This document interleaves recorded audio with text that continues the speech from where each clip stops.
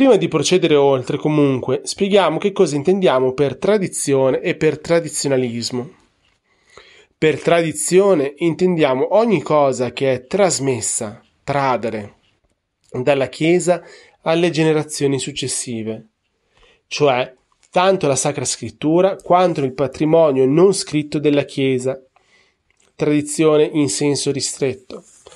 Questo patrimonio non scritto comprende la divina tradizione che insieme con la scrittura costituisce la rivelazione o il depositum fidei e la tradizione ecclesiale o estrinseca che include gli insegnamenti non infallibili del magistero ordinario e il codice disciplinare della Chiesa come disposto nel codice di diritto canonico.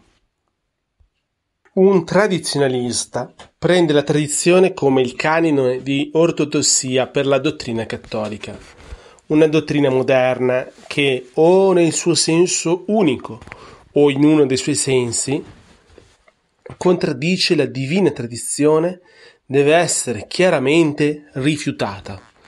Quanto a una dottrina moderna che contraddice la tradizione ecclesiale, come a prima vista la dottrina contenuta nelle umane vite, secondo la quale il controllo naturale delle nascite è un bene, essa deve essere interpretata alla luce della tradizione, vale a dire in questo caso come avente limitata applicazione.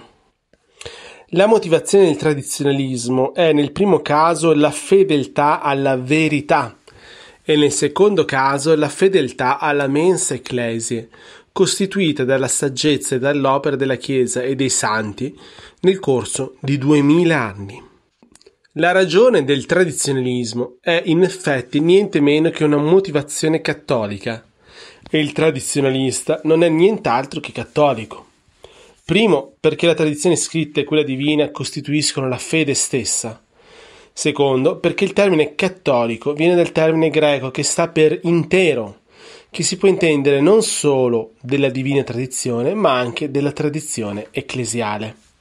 Qualcuno potrebbe obiettare che non dovremmo mai porre in questione qualcosa insegnato dal Magistero o dal Papa.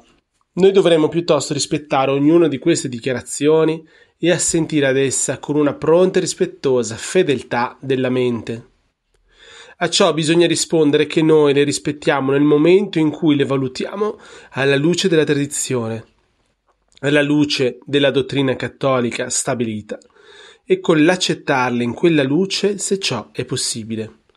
Questo assenso è un assenso che non tiene conto delle eventuali opinioni personali contrarie che noi possiamo avere.